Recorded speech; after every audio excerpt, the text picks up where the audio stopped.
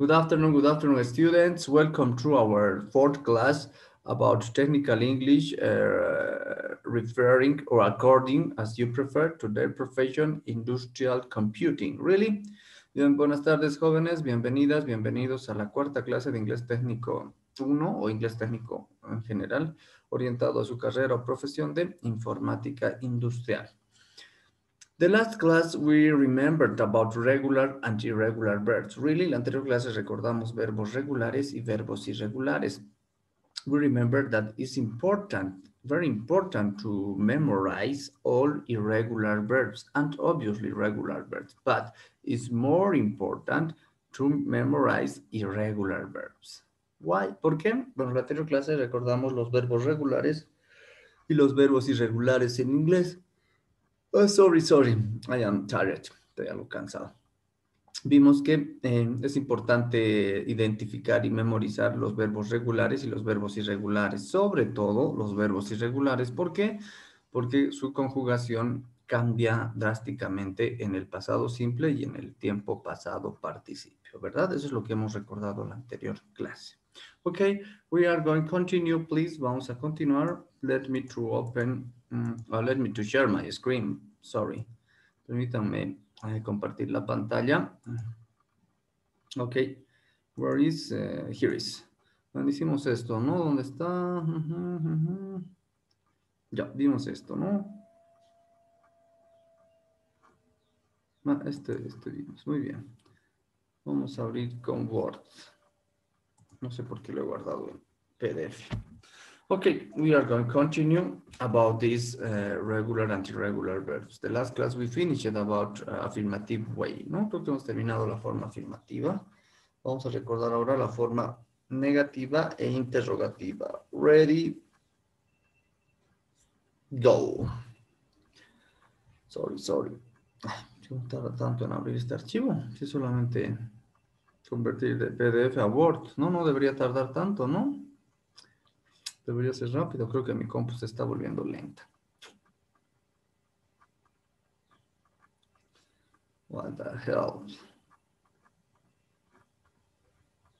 Okay, also we are going to talk about our first activities for this second partial. También vamos a hablar esta, esta clase, las actividades para el segundo parcial, las actividades que ustedes tienen que presentar. Hoy día nos vamos a poner de acuerdo sobre las tareas y también nos vamos a poner de acuerdo sobre las fechas de presentación. Como ustedes ya saben, las fechas de presentación van a, van a ser fijas, ¿no? Vamos a empezar eh, a habilitar hoy día, hoy día voy a habilitar y van a presentar hasta, hasta el lunes, por favor, hasta este lunes. Van a tener miércoles, jueves, viernes, sábado, domingo, y lunes van a tener eh, seis días, hasta el lunes hasta las 11 de la noche va a estar habilitado para que puedan subir sus tareas, ¿ya? Ok, students, ready, go.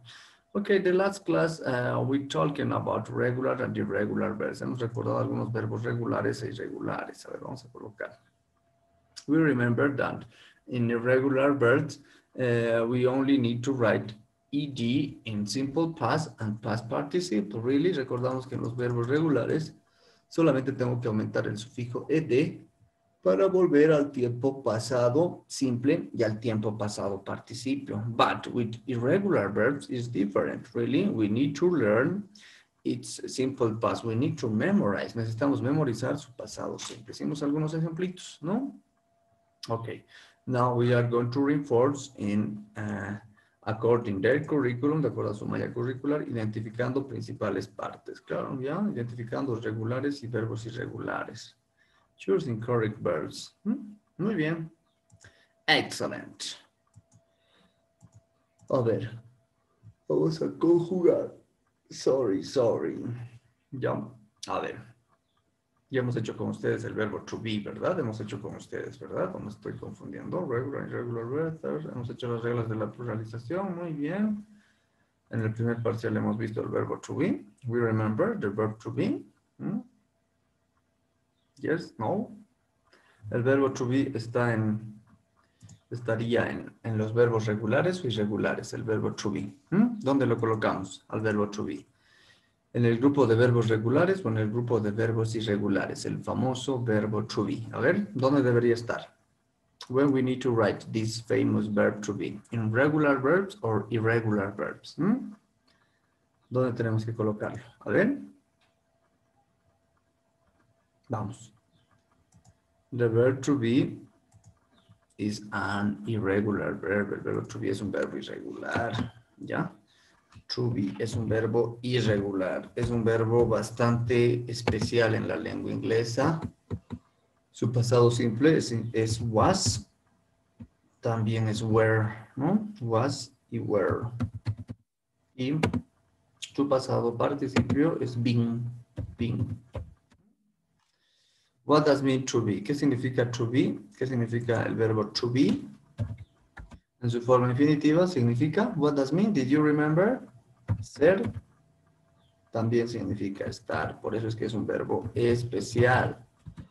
Because this verb has two meanings.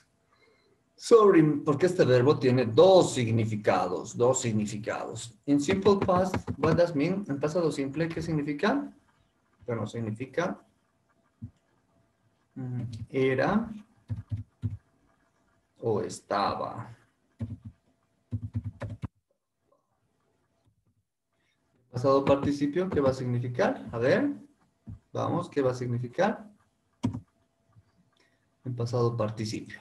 ¿Qué significa, jóvenes? ¿Cómo traducimos el verbo to be en tiempo pretérito perfecto en castellano?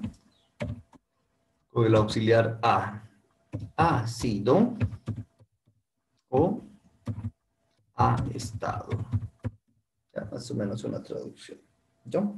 Muy bien. Entonces vimos que es importante eh, saber de memoria los verbos regulares y los verbos irregulares. ¿Ya? Hoy día yo voy a subir junto con este archivo la lista de verbos regulares usuales y la lista de verbos usuales irregulares, que creo que no les he pasado, ¿no? No les he pasado. Gracias.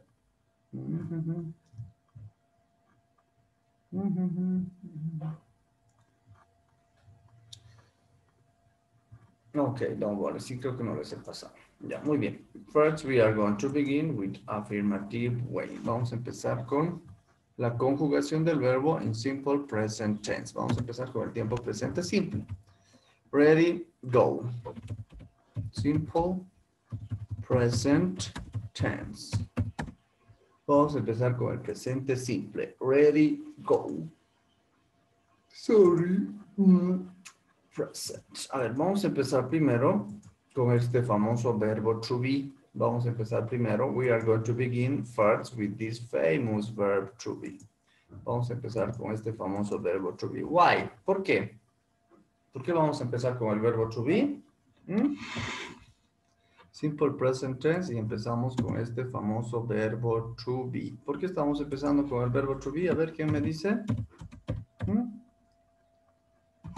¿Por qué comenzamos con el verbo to be? Adelante. Because, porque this verb is a special verb. Es un verbo especial. It's a verb uh, different to the rest of verbs in English language. Irregular and irregular verbs. ¿Por qué? Porque es un verbo especial. Es un verbo diferente en relación a los verbos regulares y verbos irregulares que hay en el inglés. En relación a los más de 13.000 verbos que hay en la lengua inglesa, el verbo to be es un verbo especial, un verbo particular. Por eso es que se lo lleva siempre de manera independiente, ¿no? Tal vez ustedes, maybe you are boring with this verb, really. Tal vez ustedes ya están aburridos con este verbo, ¿verdad? ¿Por qué? Porque siempre se lleva, ¿no? Esos colegios, obviamente, que han visto, en cualquier, instituto que se han inscrito, también seguramente ya han visto. ¿no? ¿Por qué es un verbo regular? ¿Mm? ¿Se acuerdan? ¿Por qué es un verbo regular? O por qué es un verbo especial, perdón, perdón. Ya dijimos. The first characteristic, la primera característica, its meaning, la primera característica, su significado. What does mean this verb? ¿Qué significa este verbo, dijimos? En su forma infinitiva, infinitive way. Only means ser, estar, estar. Esta ya es una cualidad particular que hace que este verbo sea especial o diferente. Because this verb has two meanings, porque este verbo tiene dos significados. En castellano tenemos esta, esta complicación con algún verbo. No. En nuestra lengua castellana no tenemos esta complicación. Tenemos por un lado el verbo ser y por otro lado el verbo estar. Son verbos completamente diferentes y completamente independientes, ¿verdad? Pero en la lengua inglesa estos dos verbos se han englobado en un solo verbo, el famoso verbo to be. Ok, also is special this verb, también es especial este verbo, which uh, its conjugation, por su conjugación. Its conjugation. Could you tell me how many ways to conjugate has this verb? ¿Podrían decirme las maneras, cuántas formas de conjugación tiene el verbo to be? ¿Cuántas formas de conjugación tiene? ¿Se acuerdan? Pues también es un verbo especial por su manera de conjugar, por sus uh, cantidades de conjugar en realidad. ¿Cuántas formas de conjugación tiene el verbo to be? Adelante, adelante. Vamos, pregunten o respondan, respondan, sorry. Are you here or not? ¿Están aquí o no? Aquí están. Tenemos aquí a Alejandro, tenemos a André, a Daniel, a Israel, José, eh, a Mendoza, a Limbert, a Lisandro, a Noel y a Mauricio. Vamos, tenemos, we are 11 students. Ahora tenemos a Miguel más. Excelente. Vamos. Entonces dijimos que el verbo to be es un verbo especial, es un verbo diferente en relación a los más de 13.000 verbos que hay en la lengua inglesa. Es un verbo especial, en primer lugar, porque tiene dos significados. Significa tanto ser como estar. También es un verbo especial porque tiene más de más conjugaciones que los otros verbos. Este verbo to be tiene tres conjugaciones. Three ways. Three ways to conjugate.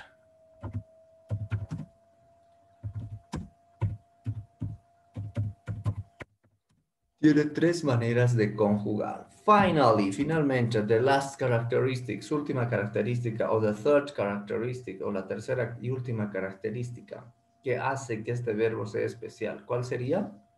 ¿Cuál sería esa característica por la que este verbo es especial? Vamos a ver. This verb, don't. Oh, mira, ya estamos utilizando un auxiliar aquí.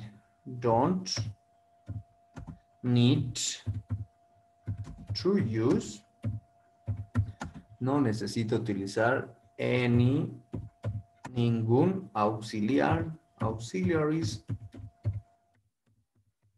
Este verbo no necesita utilizar ningún auxiliar. ¿Cuáles son los auxiliares que se usan en el tiempo presente simple? ¿Se acuerdan cuáles son?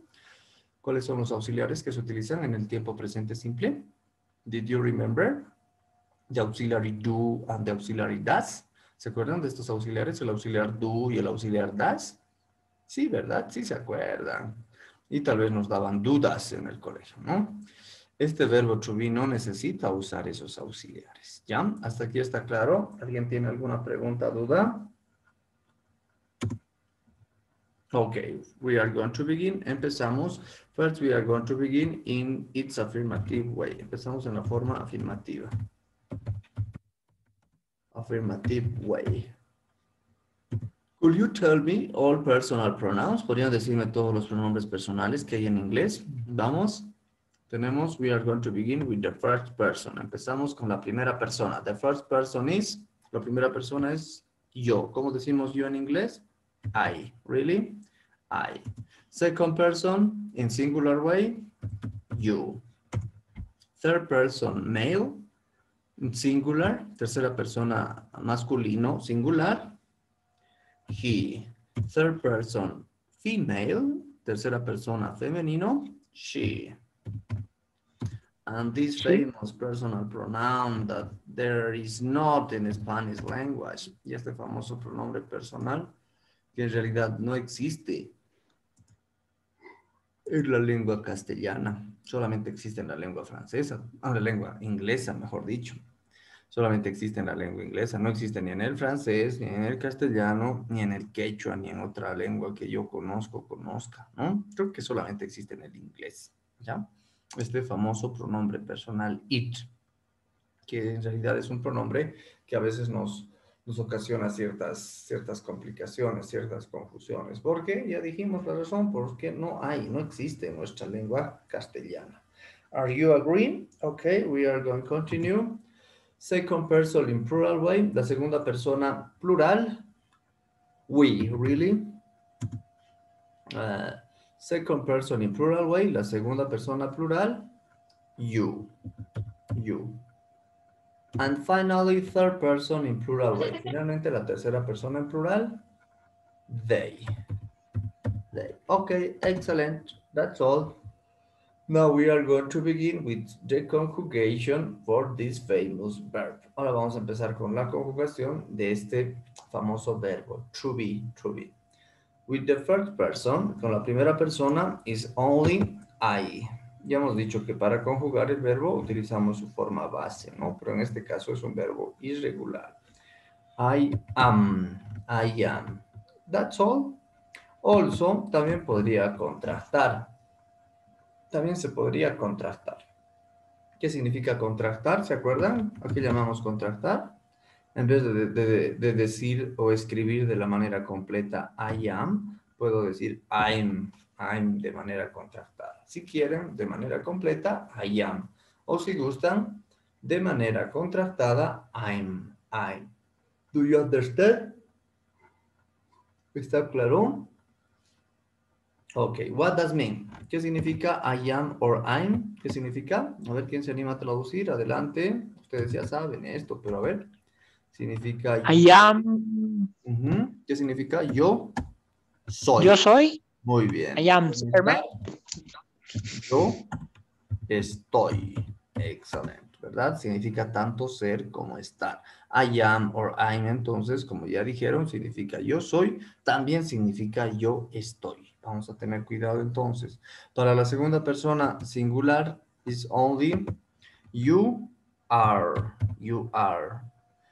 También podríamos contratar, contractar, no contratar, contractar your, your de manera contractada. Pero ya saben, es mejor escribir de manera completa, ya por lo menos al comienzo. Después, claro, una vez que tengamos más práctica, sí podríamos contractar. What does mean you are or your? ¿Qué significa you are or your en singular?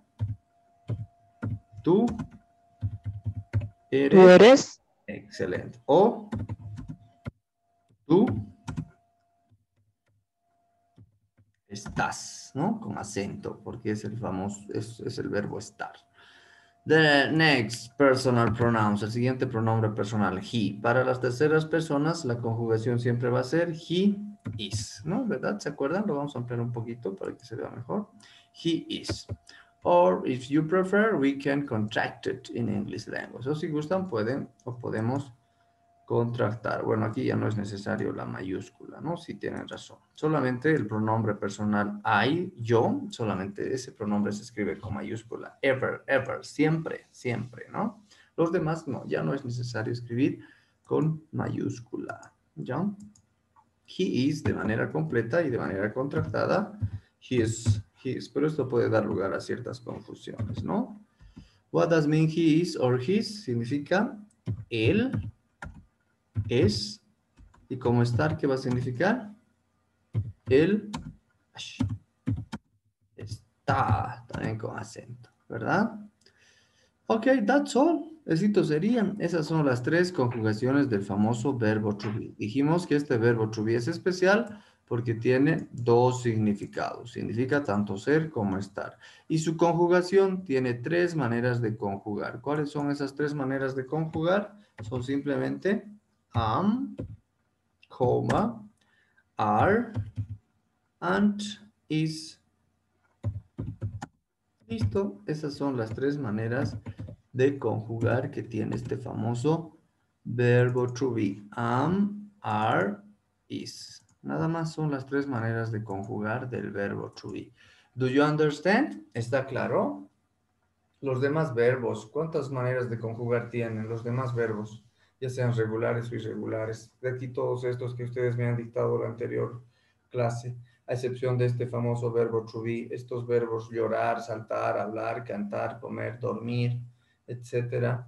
¿Cuántas, ¿Cuántas formas de conjugar tendrán? El verbo to be tiene tres, tiene tres maneras de conjugar. ¿Y los demás verbos cuántas maneras de conjugar tendrán? A ver, adelante. ¿Se acuerdan?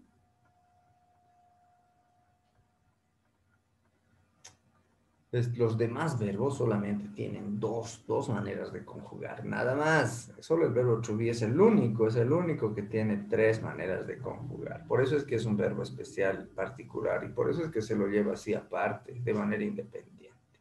¿Ya? Por eso también es que los extranjeros, los hablantes nativos del inglés, cuando hablan nuestra lengua castellana o española, hablan un poco raro, ¿no? ¿Por qué? Porque no están acostumbrados a conjugar los verbos de tantas maneras como lo hacemos en castellano. Y en castellano, ¿cuántas formas de conjugar tenemos los verbos? Ya sean regulares o irregulares. Tenemos por lo menos seis maneras de conjugar. Y ahorita vamos a ver, tenemos seis maneras de conjugar. Por eso es que los extranjeros a veces eh, hablan de esta manera, nos dicen, ¿dónde poder comer? ¿No? Nos dicen, ¿dónde ser cancha? ¿No? ¿Por qué? Porque no están acostumbrados a conjugar los verbos de tantas formas como se conjuga en nuestra lengua castellana. Seis maneras, a comparación de dos y tres hablando del verbo to be. Después se repite, para she su conjugación va a ser is, she, is, o si quieren pueden contractar y decir she's, she's. ¿Really? Para it, para las terceras personas, siempre va a ser is. It is, o pueden contractar y decir it's, it's. Primera persona plural va a ser siempre are, are. Are siempre va a ser la forma conjugada en plural, a excepción de you are, you are, porque ustedes saben que you are es tanto singular como plural, ¿verdad? Muy bien. We are, o pueden contractar como were, were, were. You are, ya saben, siempre con are para la forma plural, or your, your. Para la tercera persona plural, they are, siempre va a ser are o their, de la forma contractada. ¿Para qué se contracta, dijimos? ¿Por qué contractamos? ¿Por qué contractan, mejor dicho, los americanos o británicos? ¿Por qué contractan? Porque, porque les da flojera escribir, ¿ya? Contractar significa tipo abreviar, no escribir de manera completa. Pero si analizamos, cuando contractamos nos estamos ahorrando escribir una sola letra, ¿no? Una sola letra, ¿ya? Por eso es mejor escribir de manera completa. Ok, ustedes me van a colocar la traducción, a ver, ¿qué sería? She is or she's va a ser ella es o ella está. Excelente. It is or it's, bueno, este pronombre personal saben que es bastante famoso, tal vez han visto la película It, ¿no? De ese payaso, yo no he visto, no sé por qué se llamaba It, tal vez ustedes me van a, me van a ayudar. It en realidad significa en su forma neutra eso, eh, puede ser también esa, puede ser ese, puede ser ello, puede ser lo, también en algún caso, también puede ser la. Eso es, podría ser, o eso, esa, ello es, o está, ¿no? En fin, significa muchas cosas, ¿no? And this pronoun is only used for animals, animals and things. Y este pronombre personal solo, solo se utiliza para animales y cosas, u objetos si prefieren. Así es que no sé por qué se llamaba ese payaso asesino It. Tal vez ustedes pueden responder. We are or we're de la forma contractada. What does mean? Significa simplemente nosotros o nosotras. Nosotras o nosotros. Somos o nosotras o nosotros estamos, ¿verdad? You are en plural or your. ¿Qué va a significar you are or your? ¿Qué va a significar? Ustedes son o ustedes están. En la lengua inglesa hay el vosotros o vosotras. ¿Hay en el inglés vosotros o vosotras? What do you think? Adelante, ¿qué piensa? En inglés hay vosotros o vosotras. ¿Mm? Vamos, adelante. No, él significa ellos o ellas. A ver, todos, todas están de acuerdo. Entonces, ¿hay o no hay? ¿No hay vosotros o vosotras? Mm. There is, there is, hay, hay vosotros o vosotras. A ver, you are or you're, ustedes son o ustedes están. Esta sería la traducción literal en el inglés americano, USA. USA. En el inglés americano sería esa traducción. Ustedes son, ustedes están. But in British English, pero en el inglés británico sí, you are se traduce como vosotros o vosotras o vosotras. Vosotros o vosotras sois o vosotros o vosotras estáis. Estáis. Claro, no utilizamos en nuestro léxico, pero en el inglés británico tiene esa traducción, ¿ya? Esto sería en el inglés británico, UK, UK, en el inglés británico. Y como ya hemos hablado en las anteriores clases, nosotros tenemos que llevar ambos, ¿no? Tenemos que saber tanto el inglés americano como el inglés británico. Lo que más se enseña en nuestro país es el inglés, es el inglés americano, ¿no? Claro, porque las mayores producciones o todo lo que nos llega es de Estados Unidos, digamos, ¿no? Pero por cultura hay que saber también el inglés británico. Do you understand? ¿Está claro? ¿Preguntas, dudas? Eso. Ah, muy bien. ya, gracias. Ya, muy bien. Continuamos. Ahora, ustedes me van a decir si es lo mismo o no. Si es que yo les dijera, ustedes son estudiantes. O les dijera, vosotros sois estudiantes. ¿Habrá alguna diferencia? A ver, vayan analizando y me dicen. They are or there means ellos o ellas son estudiantes. Ellos o ellas son estudiantes. ¿Hay alguna diferencia entre decir vosotros sois estudiantes y decir ustedes son estudiantes? ¿O es exactamente lo mismo? Adelante. ¿Mm? There is, is there some difference between ustedes son Tal vez sea más formal. Vosotros sois estudiantes. A ver, adelante. ¿Mm? ¿Hay alguna diferencia o es exactamente lo mismo? Es lo mismo. Son lo mismo. La pronunciación. Ya, muy bien. ¿En qué países se utiliza el vosotros o vosotras? ¿En qué países? ¿En qué países utilizan bastante el vosotros y vosotras? ¿Mm? A ver.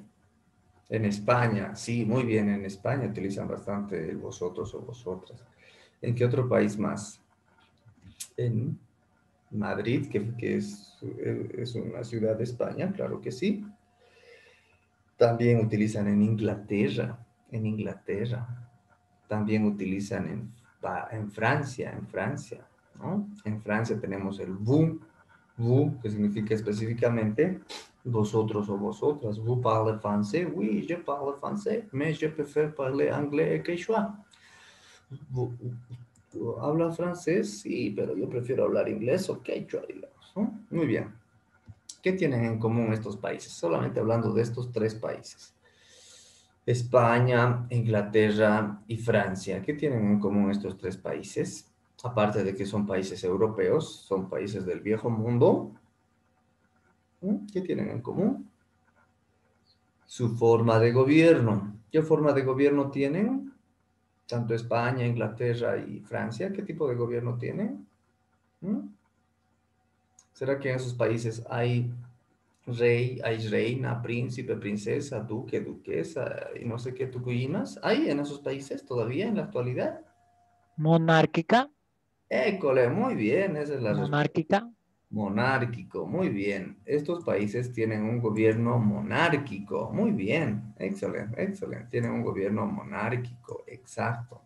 Todavía existe la nobleza, todavía existe la clase noble. Ya, en realidad de muchos de los países del viejo mundo, eh, existe la nobleza, ¿no? Es más, hace, hace un mes, si no me equivoco, falleció el príncipe de, de Inglaterra, precisamente, ¿no? Falleció el príncipe de Inglaterra y Tal vez yo me estoy volviendo algo insensible, puede ser, ¿no? Con todo lo que sucede o está sucediendo.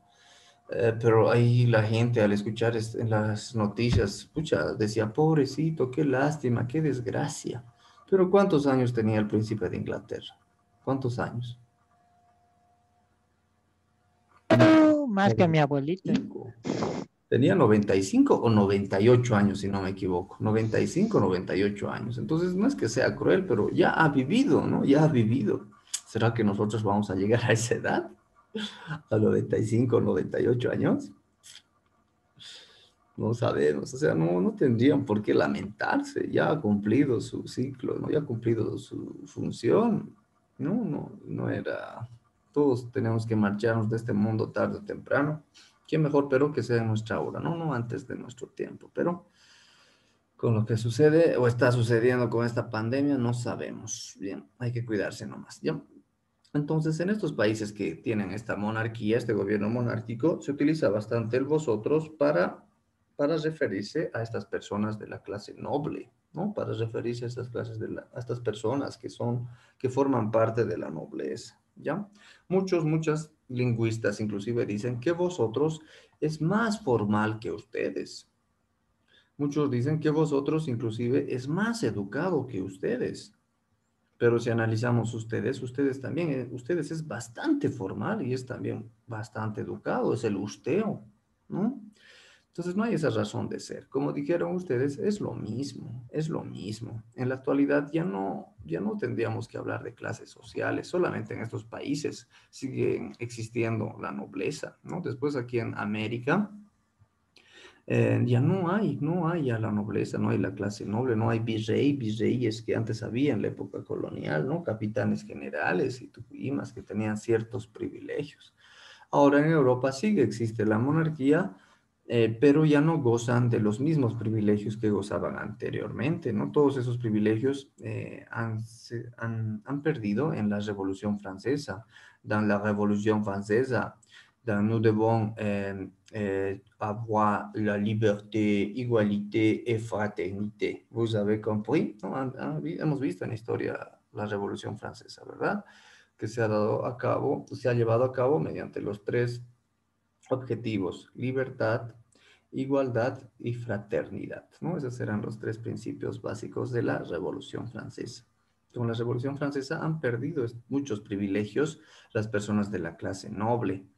Eh, en la actualidad continúan teniendo algunos, algunos privilegios, pero no necesariamente están a cargo de la administración del, del, país, ¿no? Ah, en estos países también tienen un gobierno democrático al mismo tiempo, tienen su presidencia, Cámara de Diputados, Cámara de Senadores, Poder Ejecutivo, Poder Judicial y Tucuyimas tienen igual. Ya, ya no están a cargo de la administración del país, pero tienen algunos, algunos derechos y algunos privilegios todavía, ¿no? Muy bien, entonces sí, no hay ninguna diferencia. Si yo les digo, ustedes son estudiantes o yo les dijera, vosotros sois estudiantes, es exactamente lo mismo. Es educado, es formal. Okay, do you understand? Have you got any question? ¿Alguna pregunta, duda? Bien, antesitos de que se nos termine el tiempo, eh, ahora sí, voy a habilitar la plataforma para que eh, me, me suban eh, su tarea de las reglas de la pluralización. Dijimos cinco cinco ejemplos con cada regla de la pluralización, ¿verdad? Con la primera regla, cinco ejemplos con la segunda regla, pero en la segunda regla se desglosaba. Me tenían que buscar cinco ejemplos de, sustantivos que terminen en la vocal O, cinco ejemplos de sustantivos que terminen en la H, cinco ejemplos que terminen en X y en el caso de la doble consonante, doble S o doble Z, dijimos tres, tres ejemplos nomás, ¿no? Luego cinco ejemplos eh, para la cuarta regla, la tercera regla, mejor dicho, cinco ejemplos para la cuarta regla y en el caso de la quinta y última regla, tenían que aumentarme los sustantivos irregulares que nos faltaba hacer, ¿no? Que creo que eran como cuatro o cinco más que había que aumentar, ¿ya? Van a empezar a subir su tarea a partir de hoy día, ¿ya? Ahora, respecto a la conjugación del verbo, todavía no les voy a dar ninguna tarea, ninguna actividad. ¿Por qué? Porque no hemos terminado de llevar este tema, ¿ya? Vamos a tener solamente esta tarea para el segundo parcial. ¿Está claro? ¿Alguien tiene alguna pregunta duda sobre esta tarea? Adelante. va a estar habilitado la plataforma para que suban su tarea desde hoy día, desde las, desde las 13 horas, hasta el día lunes 10 ah, de mayo, hasta las 11 de la noche. Ya van a tener más de cinco días para hacer. ¿Ya? ¿Está claro? ¿Alguien tiene alguna pregunta, duda sobre la tarea, sobre las reglas de la pluralización? ¿Preguntas, dudas? Adelante. Nothing? ¿Nada? Ok, students, that's all for this class. Esto sería entonces por esta clase. Hemos hecho solamente hoy día la forma afirmativa del verbo to be. La siguiente clase vamos a hacer la forma negativa y la forma interrogativa. Nada difícil, nada complicado. Y luego vamos a ver con los demás verbos de manera general, porque ya es lo mismo. Solamente es un caso excepcional el verbo to be. Ok, students, thanks for their attention. Gracias por su atención. We are going to continue the next Wednesday. See you the next week. Bye bye. And don't forget to do this uh, first homework for this second partial. Ya nos vemos la siguiente semana y no se olviden hacer su tarea, la única tarea de este segundo parcial. Ya. Bye bye. See you. So long. Nos vemos jóvenes. Chao, chao.